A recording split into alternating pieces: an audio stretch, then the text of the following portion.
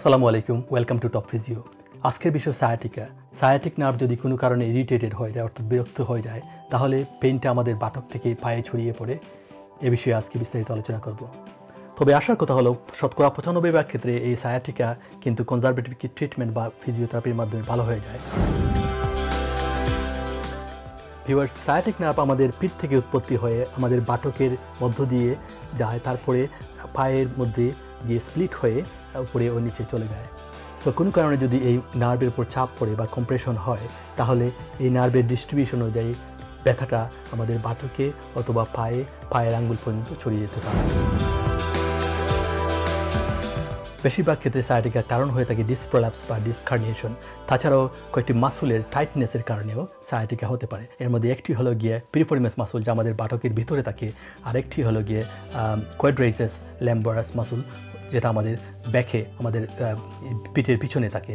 কোয়াড্রেটাস ল্যাম্বারাস একটি আমাদের ব্যাকের একটি ডিপ মাসুল যা আমাদের স্পাইনকে স্টেবিলাইজ করে রাখে। অনেকটা বৈদ্যুতিক খুঁটিকে যেভাবে তার দিয়ে ঠান টান করে রাখা হয় সেইভাবে কোয়াড্রেটাস ল্যাম্বারাস আমাদের স্পাইনকে দুদিকে স্টেবিলাইজ করে রাখে। এটি আমাদের স্পাইনকে সাইড বেন্ডিংয়েও সহায়তা করে থাকে। তো আজকে আমরা দুটি স্ট্রেচিং একটি কিউএল বা কোয়াড্রাইটিস লেম্বোরাসের স্ট্রেচিং এবং আরেকটি হলে পিফরমিস মাসুলের স্ট্রেচিং এবং কিছু এক্সারসাইজ আপনাদেরকে দেখাবো যেগুলো করলে সায়াটিকা কমে যাবে এবং আপনারা ব্যথামুক্ত হয়ে যাবেন ইনশাল্লাহ দর্শক, আপনারা জানেন যে আমাদের স্পাইন অনেকগুলো হাড় দিয়ে গঠিত, যা একটির উপর আরেকটি এভাবে সুবিন্যস্ত অবস্থা আছে। এই এই হাড়গুলোকে আমরা বার্টিব্রে বলি। এই দুটো বার্টিব্রে মাঝখানে একটা ডিস্ক থাকে। আমাদের ডিস্কগুলো খুবই নরম অনেকটা জেলির মতো দুটো বার্টিব্রার মাঝখানে থাকে। সো কোনো কারণে যদি আমাদের ডিস্কটা কম্প্রেসড হয়ে যায়, তাহলে এই জেলির মতো অংশগুলো এভাবে বেরিয়ে আসে, যা আমাদের নার্ভকে কম্প্রেস করে। এই জন্য এই নার্ভের ডিস্ট্রিবিউশন অনুযায়ী আমাদের শরীরের যে কোনো জায়গায় ব্যথা অনুভূত হয়। আমরা যদি সাইড বেন্ডিং করি, তাহলে যদি আমাদের টাইট ফিল হয় এক সাইডে তাহলে সেটা কোয়াড্রেটিস লেম্বোরাসের কারণে হতে পারে। কোয়াড্রেটিস লেম্বোরাস বা কিউএল মাসুলের জন্য আমরা যে প্রথম স্ট্রেচিং করব, সেটি আমরা বসে বা দাঁড়িয়ে করতে পারি। চলুন দেখি আমরা কীভাবে করব। আমাদের যদি ডান দিকের মাসুল টাইট হয়ে থাকে, তাহলে আমরা বাম দিকে সাইড বেন্ডিং করে স্ট্রেচিংটা করব। প্রথম স্ট্রেচিং হলো কিউএল স্ট্রেচিং মাসুলগুলোর নাম অনেক কঠিন, মনে রাখার প্রয়োজন শুধু স্ট্রেচিংগুলো দেখে নিন দর্শক। আমাদের প্রথম স্ট্রেচিং এক্সারসাইজ হলো কিউএল স্ট্রেচিং এটি খুব সহজ একটি এক্সারসাইজ এর জন্য আমরা প্রথমে এরকম সোজা হয়ে দাঁড়াবো, সোজা হয়ে দাঁড়াবো, তারপর যেদিকে আমাদের টাইট ফিল হয়, পিঠের যে পাশে টাইট ফিল হয়, তার অপোজিট দিকে, উল্টো দিকে আমরা আমাদের সাইড বেন্ডিং করব। আমাদের হাতকে এভাবে নিতে, আমাদের হাঁটুতে স্লাইড করে সাইড বেন্ডিং করব।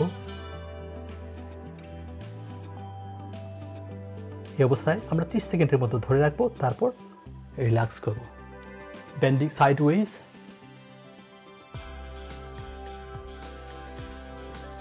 আমি এখানে একটা পুল ফিল করতেছি, এই মাসুলগুলা কিউএল মাসুল এখানে পুল ফিল করতেছি, এই অবস্থায় আমি ত্রিশ সেকেন্ডের মতো ধরে রাখব।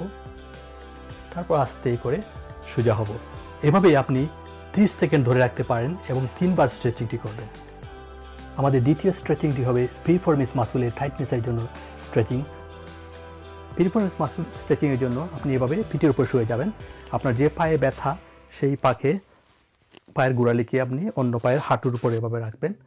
তারপর আপনি চাইলে একটি টাওয়াল ইউজ করতে পারেন। এই টাওয়ালটিকে আপনি উড়ুর পিছনে এভাবে রেখে বুকের দিকে পুল করবেন। এই অবস্থায় বিশ থেকে তিরিশ সেকেন্ড ধরে রাখবেন। এই অবস্থায় আপনি একটা পুল ফিল করবেন মাসুলে তারপর রিল্যাক্স এভাবে তিনবার এই স্ট্রেচিংটা করে নিতে পারেন। এখন একটি এক্সারসাইজ করব, যেটিকে আমরা স্লোপি পুশ আপ বলে থাকি। তো আমরা কী করব? আমরা এরকম বুকের উপর শুয়ে যাব। তারপর আমরা এলবোর উপর ভর করে এভাবে বুকের উপর শুয়ে যাব। এই অবস্থায় আমরা পিঠকে সোজা রেখে কয়েকবার আপ অ্যান্ড ডাউন করব।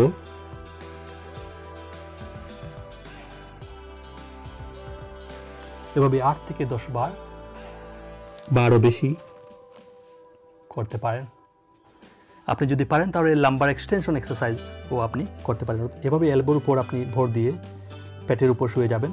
তারপর আস্তে করে আপনি যদি পারেন, তাহলে আপনার পিঠের অংশকে এভাবে তুলে আট থেকে দশ সেকেন্ড ধরে রাখবেন। তারপর ডাউন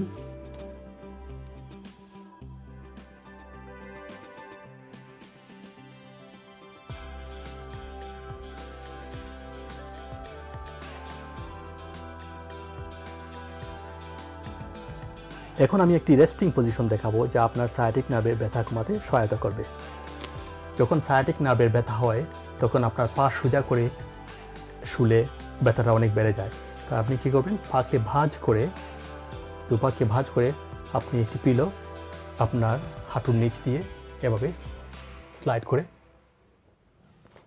এভাবে ঘুমাবেন এবং চেষ্টা করবেন যে কোন পজিশনে আপনার ভালো লাগে দেখবেন। প্রয়োজনে আরেকটি পিলো আপনি আস্তে করে স্লাইড করে এভাবে হাঁটুর নিচে রাখতে পারেন। সেই অবস্থায় আপনি ঘণ্টা দুয়েক যদি শুয়ে থাকেন, তাহলে আপনার অনেকটা ব্যথা রিলিফ হবে, আপনার পেইন কিলার খেতে হবে না। টিপ নম্বর টু ঘুমানোর আগে কুসুম গরম পানি দিয়ে একটি শাওয়ার করে নেবেন।